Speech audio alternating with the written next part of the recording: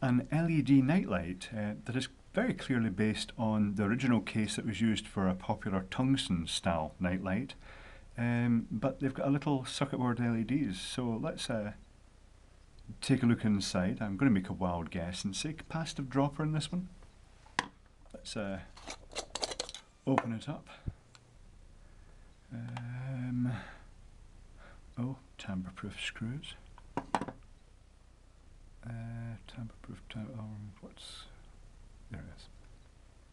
Little triangular screws, the ones that are supposed to stop you taking stuff to bits, apparently, but they don't stop me.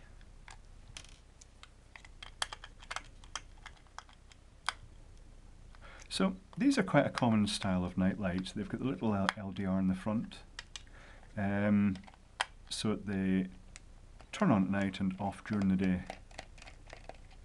The tungsten type are usually really crappy circuitry. I think they use a thyristor, and they tend to shimmer and flicker quite a bit. Uh, but at least it saves the life of the lamp because uh, low wattage lamps aren't as robust in the UK on 240 volt because the filament's a lot thinner for than the equivalent of a two of a 110 volt lamp. Ooh, here we go. Well, so far I'm seeing resistors. Uh, I'm seeing one capacitor, a little electrolytic. Uh, is there a... Oh, it's... Uh,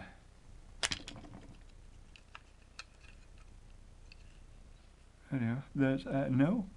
It appears to be a resistive dropper. So uh, let's uh, let's um, doodle this out. I thought it was quite bright, so um, hmm, uh, surprising that it's resistive. Um, so here's the wires going in. The first one goes through a fuse. So this is where I try and draw everything upside down, live.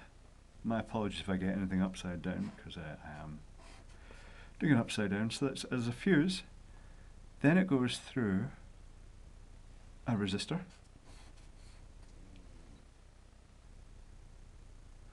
Brown, red, orange, 12k, and then another resistor. They look rated roughly about 1 watt, so um, let's see, uh, you can all laugh heartily when I get the characters upside down. 12k. Um, then it goes through a diode.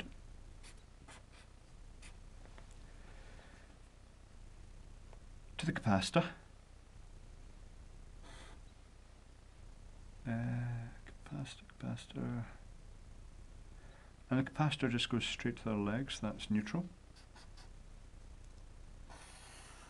The circuitry is very simple so far. So that's going to be negative capacitor, that's going to be the positive.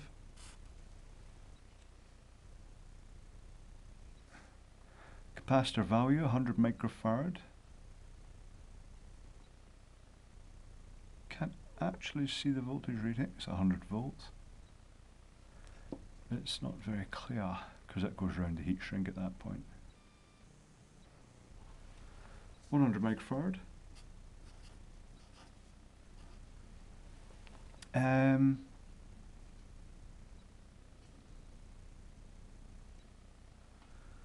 transistor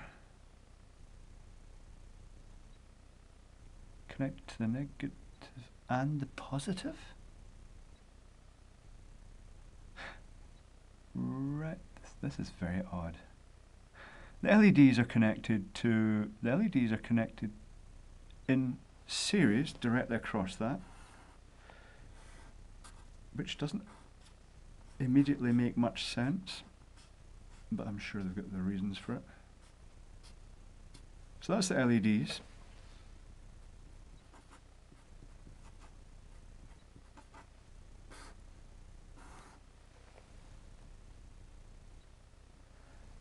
Transistors connected across that as well.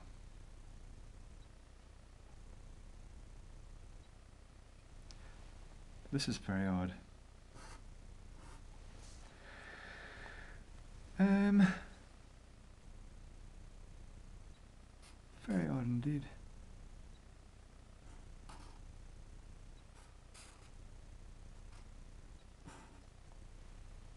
And that just leaves the two components, the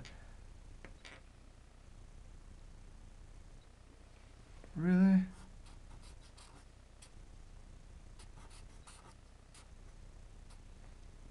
So there's the LDR. Um, and when it's daylight, it pulls it. Oh, is that right? Have I done that in the right position? No, I've got it in the wrong. That's the LDR there.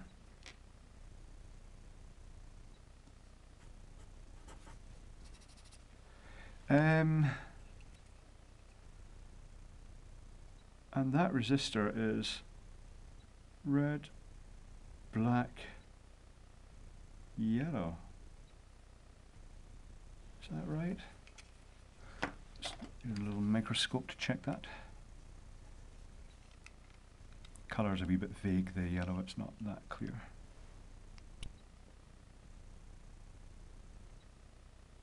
Yeah, red, black, yellow. Okay. That's an odd value. It's not a standard value, is it? Uh, 2, oh, and then uh, brown, red, orange, yellow, 2. Is that 200k? That's 200k, isn't it? I think it is. Yeah. So 200k.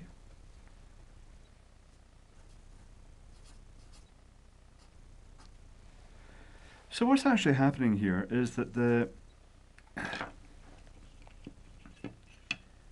LEDs are basically being fed through a very simple resistive dropper from the mains, um, smoothing capacitor, um, and at night time this transistor's off and the LEDs are on, but during the day when light shines in this LDR um,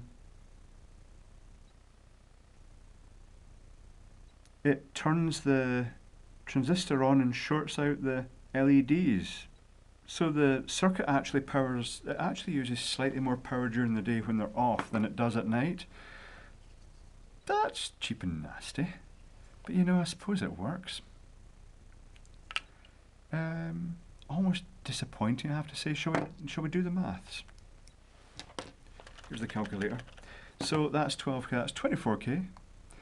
Uh, 24, uh, hold on, 240 volt divided by 24k.